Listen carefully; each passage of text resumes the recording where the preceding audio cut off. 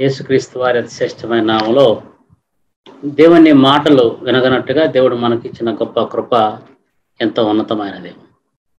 ఈ ఉన్నతమైన కృపను పొంది ఆయన ఆరాధించుటకు దేవుడు మనకిచ్చిన విశ్వాస జీవితం ఏంటంటే నటన జీవిత విధానం నటించకూడదు. మన భక్తి జీవితంలో అనేకులుగా నటన నటిస్తారు. మందిరానికి వచ్చినప్పుడు ఎంత ప్రార్థనా పనులుగా నటిస్తారో మందిరంలో ఉన్నప్పుడు ఎంత భక్తిపరులుగా నటిస్తారో.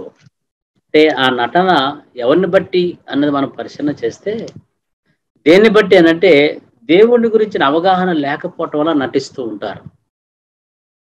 ఆ నటింపు వల్ల ఆ కుటుంబం ఏమవుతుంది లేక ఆ నటింపు జీవితం వల్ల తన జీవిత మనుగడ ఎలా ఉంటుంది అన్నది మనం పరిశీలన చేస్తే ఈ దినము ఆత్మీయ స్పర్శ అనే కార్యక్రమం ద్వారా నటన అనే అంశంపై దేవుని వాక్యాన్ని వివరించాలని ఆశపడుతున్నా. ఎందుకనగా క్రైస్తవులుగా మీటింగులకు వెళ్తూ ఉంటాం ప్రార్థనలకు వెళ్తుంటాం అనేక సంఘాల దేవుని ఆరాధిస్తూ ఉంటాం. ఆరాధిస్తున్న జీవిత విధానంలో నటన మాత్రం మానట్లేదు. ఎందుకని నటన జీవితాన్ని ఎందుకు కొనసాగిస్తారో అర్థం కాదు. అంటే ఒకరి దగ్గర ఒకలాగా ఇంకొకరి దగ్గర ఇంకొకలాగా ఒక మందిరంలో ఇంకొకలాగా ఇంకో మందిరంలో ఇంకోలాగా. ఇలా ఎందుకని క్రైస్తవులుగా జీవిస్తున్న వారు ఉండగలుగుతున్నారో అది అర్థం కాదు. ఎందుకనగా దేవుని వాక్యపు సత్యాన్ని గ్రహింపు లేకపోవటం వల్ల లేక దేవుని యొక్క దృష్టి అటువంటి వారిపై ఖచ్చితంగా ఉన్నదన్న సత్యాన్ని కూడా ఎరుగకయే నటిస్తారా అన్న ఆలోచన అప్పుడప్పుడు కలుగుతూ ఉంటుంది. అనేక రకాలైన సమస్యల ద్వారా దేవుడు విడిపిస్తూనే ఉన్నాడు. అనేక రకమైన బాధల నుంచి కూడా దేవుడు విడిపిస్తున్నాడు. విడిపిస్తున్నప్పటికీ కూడా ఈ నటన జీవిత విధానంలో మార్పు లేదు. విశ్వాసయుతమైన జీవితాన్ని జీవిస్తున్న మనలో అంటే విశ్వాసిని అనుకుంటున్న మనలో కూడా నటన ఉంటుంది. ఏమిటంటే మనుషుని బట్టి ఆలోచన విధానం నడవడిక మాట తీరు ఇవన్నీ మారిపోతూ ఉంటాయి. అంటే లోకములో ఉన్నప్పుడు లేక మందిరపు వెలుపల ఉన్నప్పుడు మనం ఏ విధంగా ఆలోచన చేసినా మందిరంలోనికి వచ్చినప్పుడు కూడా అదే నటన జీవిత విధానం మనం జీవించడానికి ఇష్టపడడు దేవుడు. అలా నటనా జీవితాన్ని ఇష్టపడుతూ ఉంటే ఏం జరుగుద్దో కొన్ని మాటలు యోబు జీవితంలో జరిగిన సంఘటనలను కొన్ని మాటలు యోబు గ్రంథంలో రాయబడిన కొన్ని మాటలు యోబే ఒక ఉన్నతమైన రీతిలో ప్రత్యుత్తరం ఇస్తున్నాడు ఆయన దేవుడిచ్చను దేవుడే తీసుకుని అన్నాడు. అదే రీతిలో నేను మరణించినప్పటికీ కూడా నా దేవుడు నన్ను రక్షిస్తాడన్న గొప్ప నమ్మకం. నేను ఆయన కొరకు మరణించినప్పటికీ కూడా నేను ఆయన చూడగలను అన్న మాట విశ్వాసయుతమైన మాట యోగు జీవితంలో మనం చూస్తున్నాం. అటువంటి వ్యక్తి అంటున్న మాట ఏమిటంటే యోగ గ్రంథము ఇరవై ఒకటి అధ్యాయం ఒకటి రెండు మూడు చదువుతాను దయచేసి వినాలని కోరుతున్నాను. అప్పుడు యోగు ఇలాగున ప్రత్యుత్తరం ఇచ్చను నా మాట మీరు జాగ్రత్తగా వినుడి. నా మాట మీ ఆదరణ మాటకు ప్రతిగానుగాక నాకు సెలవిచ్చినడలా నేను మాట్లాడేదను. నేను మాట్లాడిన తర్వాత మీరు అపహాస్యము చేయవచ్చును. నిజమే. యోపు కూడా తన భక్తి జీవిత విధానాన్ని మనకు తెలియపరుస్తున్నాడు. ఇక్కడ రాయబడిన మాట ఏమన్నాడు? అప్పుడు యోబు ఇలాగు ప్రత్యుత్తరం ఇచ్చను నా మాట మీరు జాగ్రత్తగా వినుడి. నా మాట మీ ఆదరణ మాటకు ప్రతిగా ఉండుగాక నాకు సెలవిచ్చాడలా నేను మాట్లాడగలను. నేను మాట్లాడిన తర్వాత మీరు అపహాస్యము చేయవచ్చు క్రైస్తవులుగా జీవిస్తున్న మనం అనేక మంది బోధకులు చెప్తున్నప్పుడు మనం అపహాస్యం చేస్తాం. ఏమిటి అపహాస్యం చేస్తా అంటే అరే వాడు నిన్నటి వరకు తాగబోతుకున్నారా అరే వాడు నిన్నటి వరకు ఆ జీవితాన్ని జీవించాడు ఈ జీవితాన్ని జీవించాడు రా ఇప్పుడు పెద్ద భక్తుడిగా దేవుని వాక్యాన్ని ప్రకటిస్తున్నాడని మనం అపహాస్యం చేసేవారు ఉంటున్నాం. అదే జీవిత విధానం యోగు జీవితంలో ప్రస్ఫుటంగా కనపడుతుంది. తన స్నేహితుడు తన దగ్గరకు వచ్చారు. తన కడుగుతున్న బాధ తన కలు తనకు అనుకున్న తన అనుభవిస్తున్న బాధను బట్టి తన స్నేహితులకు వచ్చి తనకు ఆదరణ కలిగినట్టుగా అనేక మాటలు చెప్పారు. దానికి ప్రత్యుత్తరముగా ఆయన ఇస్తున్న మాట అంటే నేను ఏది చెప్పినా నేను ఏ మాట మాట్లాడా నీకు అపహాస్యం చేస్తారు మీరు. ఎందుకనగా ఈ కష్టము నా దేవుడే ఇచ్చాడు. ఈ శ్రమ నా దేవుడే ఇచ్చాడు. ఈ ఇబ్బంది దేవుడే ఇచ్చాడు. నాకున్నవన్నీ తీసుకున్నది దేవుడు ఇచ్చాను తీసుకున్నాను అన్న విశ్వాసముతో నేను దేవుణ్ణి వెంబడిస్తున్నా. అంతేకాని నేను దేవుని దృష్టికి పాపిగా కాదు. లేక దేవుని దృష్టికి చెడు చేసిన వాడిని కాదు. కానీ నీతిమంతుడిగా యథార్థవంతుడిగా దేవుణ్ణి సేవించడం ద్వారా దేవుడు నాకు చిన్న పరీక్ష పెట్టాడని ఒక గొప్ప ఆలోచనతో తన స్నేహితుడు మాట్లాడుతానమాట నేను ఏది చెప్పినా మీరు అనుకోవచ్చు ఇది తప్పు చేశాడేమో పాపం చేశాడేమో అందుకని ఆస్తిపాస్తులు పోయినాయి బిడలు పోయారు భార్య వదిలిపెట్టి వెళ్ళిపోయింది తనకు మరొకరమైన రోగం వచ్చిందని అనేక రీతిలుగా మాట్లాడుతుంటారు. కానీ ఆ మాటలు ఆడుట ద్వారా నాకు ఏమి కలగదు కానీ నేను మాట్లాడినప్పుడు మీరు విన్నట్లయితే మీ ఆదరణకు తగినట్టుగా మీ ఆదరణ మాటకు ప్రతిగా ఆయన మాట ఉంటది అన్న సత్యాన్ని లేఖన భాగం స్పష్టంగా ఆయన ఆదరించడానికి వచ్చారు. మీ ఆదరణ మాటకు తగినట్టుగా అన్న మాట అక్కడ స్పష్టంగా రాయబడింది. ఏమంటాడంటే అక్కడ నా మాట మీ ఆదరణ మాటకు ప్రతిగా నుండుగాక. ఆయన మాట్లాడిన మాట ఆయన ఆదరించిన దానికి ప్రతిగా ఉండుగాక అన్నాడు. అలా ఉంటది కాబట్టి నన్ను అపహాస్యం చేస్తారు చేయవచ్చును. కనుక మీరు నా మాట వినండి అని చెప్పి అనేక రీతిలకు తెలియపరుస్తున్నమాట. ఏమన్నాడంటే అక్కడ తర్వాత వచ్చాను కూడా చదువుదాం. నేను మనుషుని గురించి మొరపెట్టుకొనుచున్నాను. నేను మనుషుని గురించి మొరపెట్టుకొనుచున్నానా? లేదు కనుక నేను ఎలా ఆతురపడకూడదు? నన్ను తేరి చూచి ఆశ్చర్యపడుడి నోటి మీద చెయ్యి వేసుకునుడి. నేను దాని మనస్సునకు తెచ్చుకున్నడల నాకేమీ తోచుకున్నది. నా శరీరమునకు వణుకు పుట్టుచున్నది. భక్తిహీనులు ఎలా బ్రతుకుదురు? వారు వృద్ధులై బలాభివృద్ధి ఎలా నందుతారు ఇక్కడ తన విశ్వాస జీవితాన్ని వెరడపరుస్తున్నాడు అంటే నేను వృద్ధాప్యం వచ్చేప్పుడు నేను ఎలా బ్రతుకుతాను? అనడమే కాకుండా నేను వృద్ధులైనప్పుడు నేను బలాభివృద్ధి ఎలా పొందగలను? అనంటే విశ్వాసం ఉంటే నువ్వు పొందగలవు. దేవుని ఎందు నమ్మిక వచ్చి పొందగలవు. ఆ నమ్మికను గురించి విశ్వాసం గురించి ఇక్కడ మాట్లాడుతున్నమాట. నేను మనుషుని గురించి మొర్ర పెట్టుకొనుచున్నానా లేదు. కనుక నేను ఎలా ఆతురపడగలను అంటున్నమాట. నేను ఎలా ఆతురపడకూడదు? దేని కొరకు ఆతురపడుతున్నాడంటే చనిపోయిన తన బిడ్డల గురించి కాదు. పోయిన తన ఆస్తిపాస్తుల గురించి కాదు. లేక తన బా వదిలిపెట్టి వెళ్ళిన తన భార్యను గురించి కాదు. తనకు కలిగిన బలహీనతను బట్టి కాదు. ఆయన ఆతురపడేది. తను నమ్మిన దేవుని గురించిన ఆతురత తనలో కనపడదు. తనకు కనపడుతుంది కాబట్టి అక్కడ అంటనమాట ఏమన్నా నన్ను తేరి చూసి ఆశ్చర్యపడుకుడి ఆశ్చర్యపడుడి అంటారనమాట అంటే ఎందుకు ఆశ్చర్యపడాలంటే నేను బలహీనులుగా ఉన్నా రోగముతో ఉన్నా అనేక రకమైన భయంకరమైన రోగము నన్ను చుట్టినప్పటికీ కూడా నాలో ఉన్న విశ్వాసాన్ని బట్టి నాలో ఉన్న ధైర్యాన్ని బట్టి నాలో ఉన్న యథార్థతని బట్టి మీరు ఆశ్చర్యపడుడి. ఇంకో మాట అంటాడు నోటి మీద చెయ్యి వేసుకునుడి. అంటే భక్తి జీవిత విధానంలో ఒక ఉన్నతమైన సత్యాన్ని యోగ జీవితం మనం చూడగలుగుతాం. ఆయన ఆశ్చర్యపడు. ఏ దేన్ని చూసి ఆశ్చర్యపడమంటున్నాడు ఆయన? మీ నోటి మీద దేన్ని బట్టి నువ్వు వేలు వేసుకోమని చెప్తున్నాడు అని అంటే తన భక్తి జీవిత విధానాన్ని బట్టి నోరు వేసుకుంటున్నాడు తన విశ్వాసం ఎంత గొప్పదో తన యథార్థత ఎంత గొప్పదో తన నీతి ఎంత గొప్పదో దేవుని ఎందు నమ్మకస్తుడిగా ఉన్న జీవిత విధానం ఎంత గొప్పదో అన్న సత్యాన్ని ఆయన వారికి తెలియపరుస్తూ ఈ మాట మీరు ఆశ్చర్యపడుడి అని చెప్తే ఇంకేమంటాడు? నన్ను తేరి చూసి ఆశ్చర్యపడు ఎవరిని చూసి ఆశ్చర్యపడమన్నాడు? ఆయన యోగుని చూసి ఆశ్చర్యపడు ఎందుకు యోగుని చూడండి? యోబు ఏ స్థితిలో ఉన్నాడండి. అన్నీ పోగొట్టుకున్నాడు. అన్నీ పోగొట్టుకున్నాడు. కానీ మరణకరమైన రోగముతో ఆయన జీవిస్తున్నాడు. దేనికి పనికిరాని వాడి వలె ఒక కుష్ఠరోగి కలిగినట్లుగా ఆ రోగాన్ని ఆయన కలిగిన వ్యక్తిగా ఉన్నప్పుడు ఆయన చూసి మీరు ఆశ్చర్యపడు నన్ను చూసి ఆశ్చర్యపోడు. ఎందుకంటే ఇంత మరణకరమైన రోగము నాకు కలిగినా నా దేవుడు నన్ను విడిపిస్తాడు.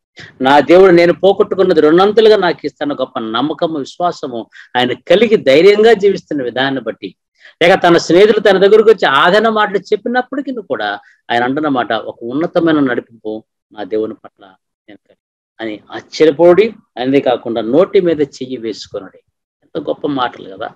యోబు జీవితంలో గొప్ప మాటలు తెలియపరుస్తున్నమాట. ఈ యోబే ఏమన్నాడనంటే నేను దాని మనస్సునకు తెచ్చుకున్నాడలా నాకేమి తోచుచున్నది? ఏంటి మనసు తెచ్చని కొడుకులు పోయారు. భార్య వదిలిపెట్టి వెళ్ళింది. ఆస్తిపాస్తులు వెళ్ళిపోయి తనకు మరణకారం వాటిని దాని గురించి నేను మనసునకు తెచ్చుకున్నట్లా నాకేమి తోచుకున్నది? అని చెప్తూ నా శరీరమునకు వణుకు పుట్టుచున్నది. ఇవన్నిటిని బట్టి నాకు వణుకు పుట్టుచున్నది. కానీ భక్తిహీనులు ఎలా బ్రతుకుతారు? అంటే వణుకుచున్న నేను వణుకు పుట్టిస్తున్న ఈ శరీర బలహీనత నా భక్తిని కనుపచ్చేదిగా కనపడాలి. అంటే భక్తిహీనుడిగా కాకుండా నేను భక్తి కలిగిన వాడనై నేను బ్రతికే అనుభవాన్ని కలిగి ఉండాలి. అంటే భక్తిహీనత కలిగి వణుకు పుట్టిస్తుందన్న భయముతో మరణించేవాడిగా కాకుండా లేక ఆత్మహత్య చేసుకునేవాడు కాకుండా స్థిరమైన భక్తితో ముందుకు సాగలిగినట్టుగా నా బ్రతుకును కొనసాగించాలి. ఎలా బ్రతకగలరు అని చెప్తూ కింద వారు వృద్ధులై బలాభివృద్ధి ఎలా నందుదురు కింద ఆ ఫుట్ నోట్లో ఒక మాట రాయబడింది. మీరు వారు వృద్ధులై బలాభివృద్ధిని ఎలా నొందులని క్వశ్చన్ మార్క్ అక్కడ రాయినట్టుగా మనం ఎలా పొందుతారు? వాళ్ళు ఎలా బ్రతుకుతారు? భక్తిహీనులు ఎలా బ్రతుకుతారు అంటే యోబు భక్తిహీనుడా? అంటే కాదు. భక్తి పరుడే కానీ తన బ్రతుకు జీవిత విధానాన్ని తన జీవన మనుగడను అనేకులకు దృష్టాంతముగా మన కొరకు లేఖన భాగము పొందుపరిచింది. అంటే వంటి యోగ భక్తులు చెప్తున్న మాటలు ఏమిటంటే ఎనిమిదో వచనం వారు ఉండగానే వారితో కూడా వారి సంతానము వారు చూస్తుండగానే వారి కుటుంబము స్థిరపరచబడుచున్నది. వారి కుటుంబములు భయమేమీ లేక క్షేమముగానున్నవి. దేవుని దండము వారి మీద పొట్టలేదు వారు గొడ్లు దాటగా తప్పక చూలు కలుగును. వారి ఆవులు ఈచుకపోక ఇనును. వారు తమ పిల్లలను మందల మందలుగా బయటికి పంపుదురు. వారి పిల్లలు నటన చేయుదురు. విశ్వాస జీవితంలో భక్తి జీవితంలో తను పొందుకున్న అనుభవం ఏంటంటే నా బిడ్డలకి అన్ని ఇచ్చాను అనుకో నా బిడ్డలు జీవిస్తున్నారు. నా బిడ్డల కొరకు సమస్తాన్ని సమకూర్చి వారు ఒక ఉన్నతమైన భయం లేకుండా క్షేమకరమైన జీవితాన్ని అనిపించేది నేను వారికి ఇచ్చాను అనుకో దేవుని కోపం వారి మీద పడకుండా నేను కాపాడగలిగిన అనుభవంలోకి రాగలిగాను అనుకో వారు ఎక్కడికి వెళ్ళినా మేలుకరంగానే జీవిస్తారు. ఎక్కడికి వెళ్ళినా ధన సమృద్ధిని బట్టి ఆస్తిపాస్తుని బట్టి తండ్రి దగ్గర నుంచి వారసత్వాన్ని బట్టి వారు సంతోషంగానే జీవిస్తారు. కానీ వారు ఏ విధంగా జీవిస్తారంటే వారు నటన చేయదు అన్న మాట చూస్తున్నాం. ఆ పిల్లలు ఎటువంటి జీవితాన్ని జీవిస్తారంటే వారు నటన చేస్తారు. దేన్ని బట్టి నటన? ఎవరి దగ్గర నటన అంటే వారు క్షేమకరమైన స్థితిగతులు కలగ చేసిన తల్లిదండ్రుల పట్ల వారు నటన చేస్తారు అని యోగు తన జీవిత విధానం గురించి తెలియపరుస్తున్నాడు. అంటే అటువంటి నటన జీవితాన్ని జీవించే బిడలను నాకు దగ్గర ఉంచకుండా నా దేవుడు తీసుకున్నాడు. వారికి క్షేమకరమైన స్థితిని కలగచేసినప్పటికీ కూడా నా దగ్గర నుంచి వచ్చిన సంపదను వారు తీసుకున్నప్పటికీ కూడా వారు భయం లేక దేవుణ్ణి భయం లేకుండా ఈ లోకంలో క్షేమకరంగా జీవించలేనప్పటికీ కూడా వారిని దేవుడు తీసుకున్నాడు. కారణం ఏంటంటే దేవుని దృష్టికి వారి నటన చేయటం ఆయనకి ఇష్టం లేదు. నటించటం ఆయనకి ఇష్టం లేదన్న సత్యాన్ని లేఖన భాగం మనకు స్పష్టంగా తెలియపరుస్తున్నాం. అందుకని స్పష్టంగా రాయబడిన మాట వారు తమ పిల్లలను మందల మందలుగా బయటికి పంపుతురు వారి పిల్లలు నటనము చేయుదురు. నటనము చేయుదురు. ఎవరు నటన చేసేదనంటే భయమేమీ లేక క్షేమముగా ఉన్న ఆ పిల్లలు. అంతేకాకుండా అక్కడ అంటున్నాడు వారి కుటుంబం స్థిరపరచబడిన ఆ కుటుంబం ద్వారా వారికి కలిగిన బిడ్డలు భయమేమి లేకుండా క్షేమంగా జీవిస్తున్న విధానం ఈ క్షేమం ఎక్కడి నుంచి వచ్చింది? ఈ కుటుంబం ఎక్కడి నుంచి స్థిరపరచబడింది అంటే తల్లిదండ్రులను బట్టే స్థిరపరచబడింది. దేవుణ్ణి బట్టి కాదు అన్న సత్యాన్ని అక్కడ స్పష్టంగా అంటే దేవుడు స్థిరపరచలేదు కాబట్టే నా బిడలు నా ఎదుట నటన చేయకుండా దేవుడు తీసుకున్నాడు. ఎందుకు తీసుకున్నాడు అని అంటే ఆడ కింద వచ్చిన అంటాడు వారు శ్రేయస్సు కలిగి తమ దినములు గడుపుదురు ఒక క్షణములోనే పాతాళమునకు దిగుదురు. ఎంత గొప్ప భయంకరమైన మాట తెలియపరచు యోపు జీవితంలో తన బిడల నటన జీవిత విధానము జీవించకుండా దేవుడు ముందుగానే వారిని తీసుకున్నాడన్న సత్యాన్ని. ఎందుకనగా వారు ఒకవేళ లోకములో స్థిరపరచబడిన వారే ఉన్నప్పుడు లోకములు వారు దేవుని భయము తల్లిదండ్రుల భయం లేకుండా క్షేమంగా జీవిస్తున్నప్పుడు వారు నటన చేస్తారు. ఈ నటనా జీవితాన్ని జీవిస్తున్నప్పుడు ఏం జరుగుద్ది అంటే అక్కడ అంటున్నమాట వారు శ్రేయస్సు కలిగి తమ దినములు గడుపుదురు ఒక్క క్షణములోనే పాతాళమునకు దిగుదురు. ఎప్పుడనంటే నటన దేవునికి అంగీకారముగా లేనప్పుడు. తల్లిదండ్రుల పట్ల ఒక నటనా జీవితాన్ని డబ్బులు ఇస్తేనే తల్లిదండ్రులు పలకరిస్తూ ఉంటారు. దినాల్లో మనం చూస్తున్నాం. ప్రేమ ఎక్కడి నుంచి బిడ్డల ద్వారా తల్లిదండ్రులు కలుగుతుందంటే తల్లిదండ్రులు ఆస్తులు సంపాదించి వారి తిని తినక వారు పస్తులుండి పైసా పైసా దాచిపెట్టి కొన్ని లక్షల రూపాయలు వారి కొరకు దాచిపెట్టినప్పుడు వారి పంపకాల దగ్గర వచ్చిన తర్వాత ఆ పంపకాల్లో కూడా వారు గొడవలు చేసుకోవటం అనేక కుటుంబాలు మనం చూస్తున్నాం. అంటే తండ్రి తల్లుగా ఉన్నప్పుడు వారు నటన ఆడుతూ ఉంటారు.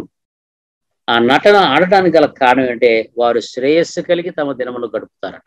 దేన్ని బట్టి అంటే దేవుని ద్వారా వచ్చిన ఆశీర్వాదం కాదు ఇది తల్లిదండ్రుల ద్వారా వచ్చిన ఆ ఆయుష్ని బట్టి. లేక తల్లిదండ్రుల దగ్గర నుంచి వచ్చిన ఆ ఆ సంపదను బట్టి వారు శ్రేయస్సు కలిగి జీవిత దినములు గడుపుతారని చెప్పిన మాట చూస్తున్నాం. అదే అటువంటి శ్రేయస్సు కలిగి దినములు గడుపుతున్న తరుణంలో దేవుని ఉగ్రత వారి మీద పడ్డప్పుడు దేవుని కోపం వారి మీద పడ్డప్పుడు ఒక్క క్షణములోనే పాతాళమునకు అన్న సత్యాన్ని వాక్యం ద్వారా మనకి స్పష్టంగా తెలియపరుస్తున్నాడు. అంటే నటనా జీవిత విధానం లోకంలో అనేక కుటుంబాలలో మనం చూస్తున్నాం. నటిస్తూ ఉన్నారు బిడ్డలు. తల్లిదండ్రుల దగ్గర నటిస్తున్నారు. దేవుని దగ్గర నటిస్తున్నారు. సంఘం నటి నటిస్తున్నారు.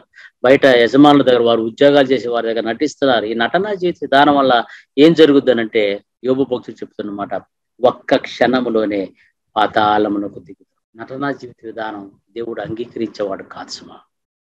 మనం ఎక్కడున్నా మనల్ని ప్రేమించినా మనకు సహకరించినా సహకరించకపోయినా మనతో మాట్లాడినా మాట్లాడకపోయినా వారితో ప్రేమ కలిగి జీవించే విధానం కలిగి ఉండగలిగితే దేవుని ప్రేమే కనుపరుస్తాడు తప్ప దేవుని ఉగ్రతను కనుపరచడు.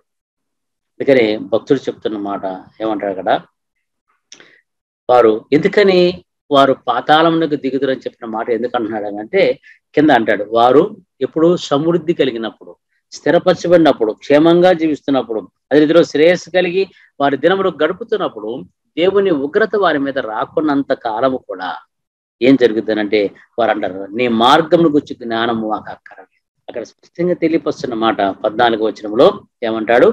నీ మార్గమును గుర్చిన జ్ఞానము మాకు అక్కరలేదు.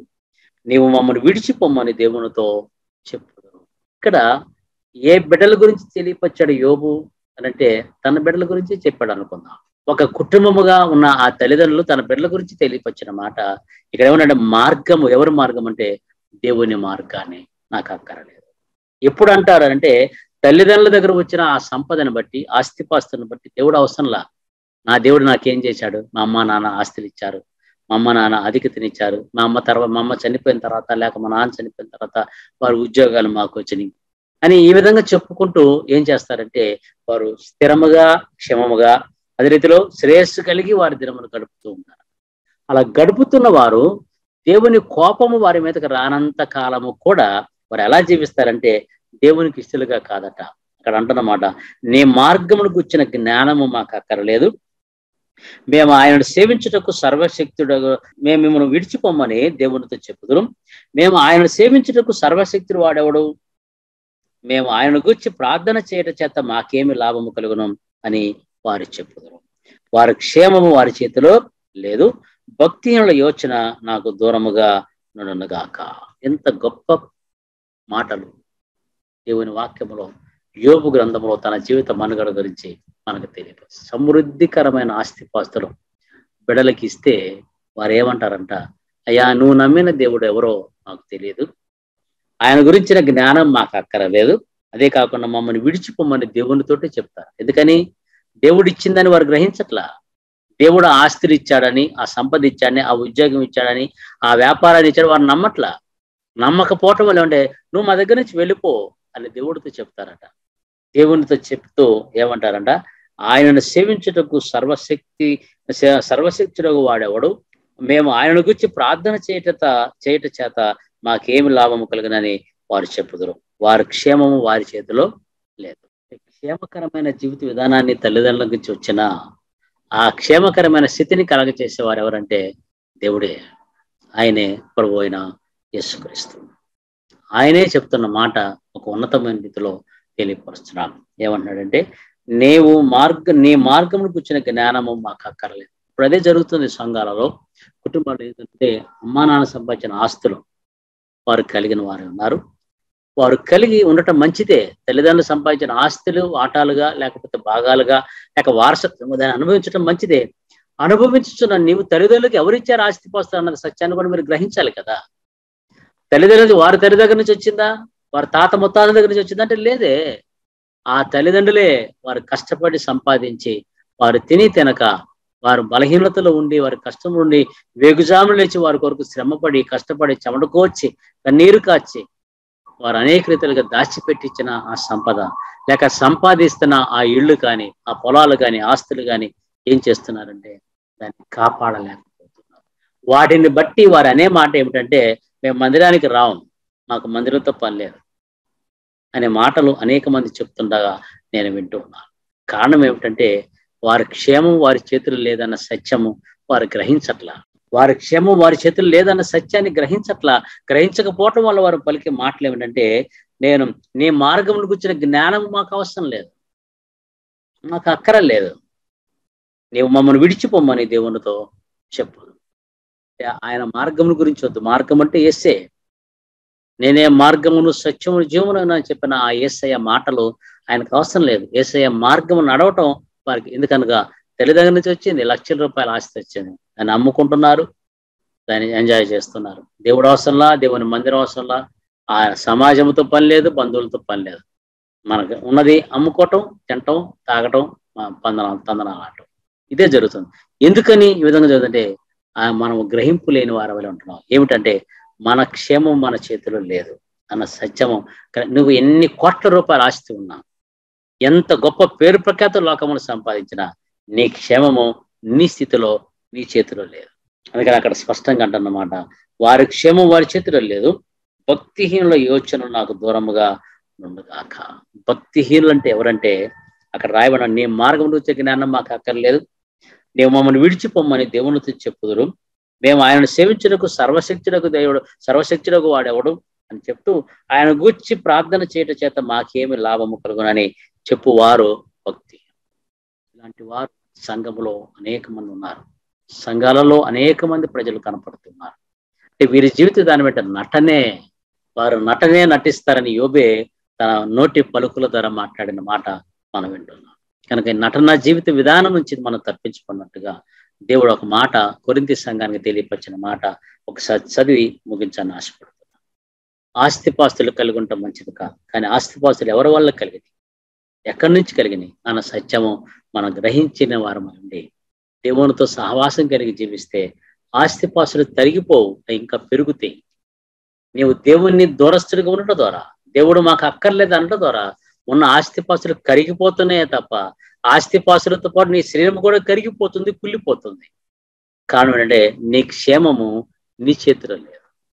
అది దేవుని చేతిలో ఉంది. ఆయన ఒక్క మాట సెలవిస్తే మన బ్రతుకులు తారుమారు కాగలమన్న సత్యము లేఖన భాగం మనం స్పష్టంగా తెలియపోస్తాం నటనా జీవిత విధానం గురించి కొరింతి సంఘానికి పౌలు గారు చెప్తున్నమాట. అంటే కొరింతి సంఘస్థులు కూడా నటన కలిగిన వారే ఉన్నారు. అక్కడ వ్యాజ్యాలు ఉన్నాయని అదిలో వారు అపోస్తులు ఆ అపోస్తులు వాడా లేకపోతే అటువంటి వాడా ఇటువంటి వాడు చెప్పిన మాట అనేక కొన్ని సంఘాల్లో చెప్పిన మాటలు మనం విన్నాం. అందుకే అటువంటి సంఘానికి పౌలుగా చెప్తున్న మాట ఏడవ వచ్చే ముప్పై ఒకటి వచ్చింది నేను చదువుతాను. ఈ లోకము అనుభవించేవారు అమితముగా అనుభవింపున్నట్లుగా ఉండవను ఎలా అనగా ఈ లోకపు నటన గతించుచున్నది. లోకమును అనుభవించేవారంటే ఎవరంటే ఆస్తిపాస్తులు కలిగి దేవునితో పని లేదు అనుకున్న వారు ఆ విధంగా జీవించొద్దు.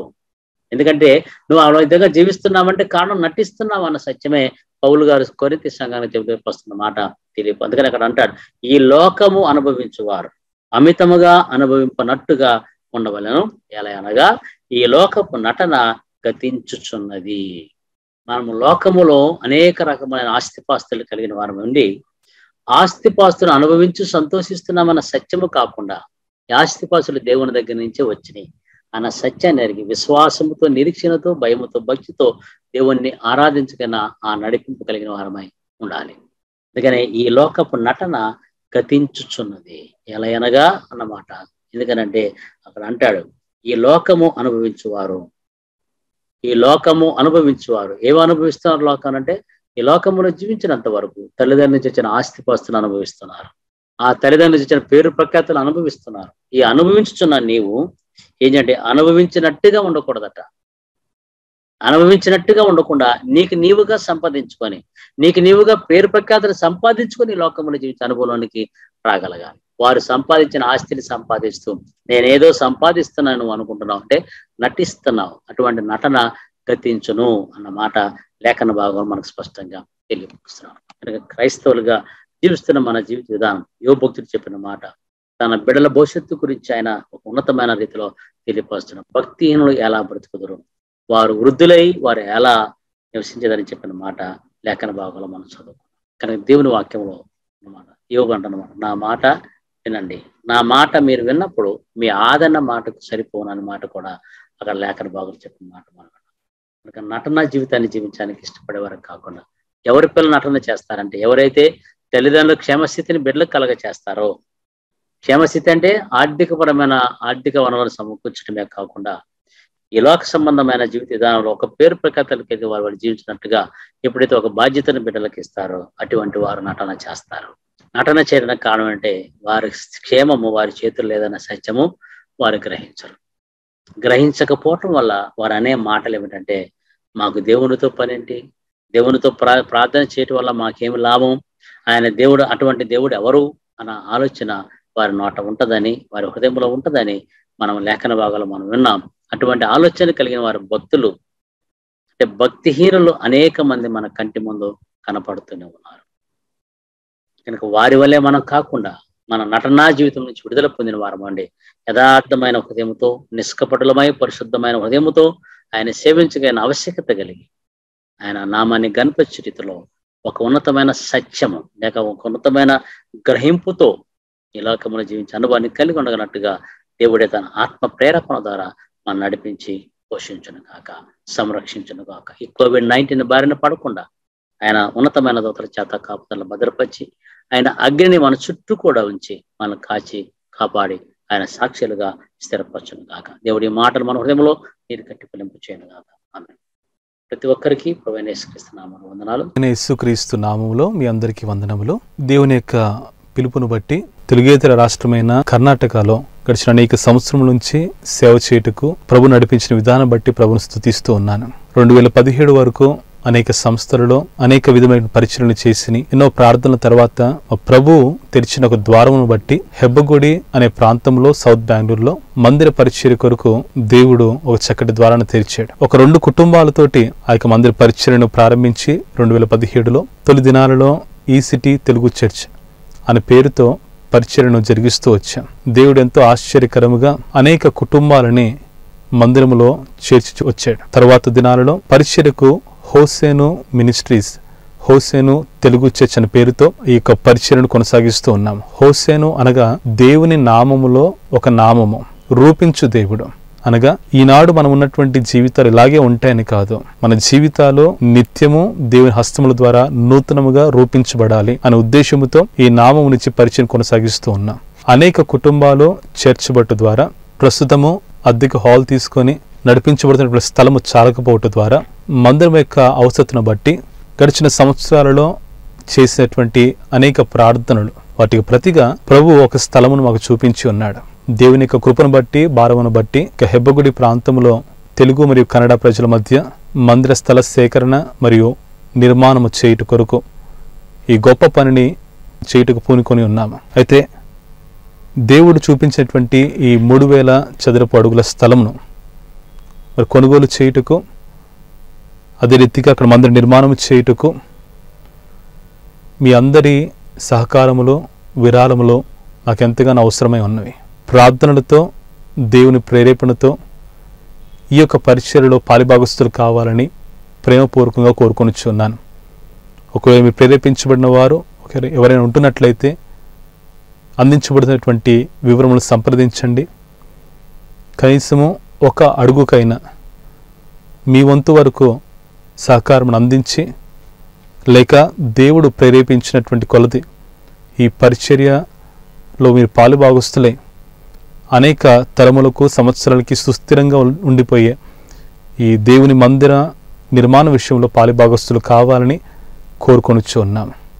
ఇక్కడ ప్రతి ఒక్కరు పాలుభాగస్తులై ఇక్కడ మీకు ఇవ్వబడుతున్న వివరంలో మీరు సంప్రదిస్తూ మీ యొక్క ప్రేమపూర్వకమైనటువంటి కానుకలను విరాళములను అందించవలసిందిగా కోరుకొనిచ్చున్నాం ప్రార్థనలు చేయండి అనేకులు తెలియచేయండి.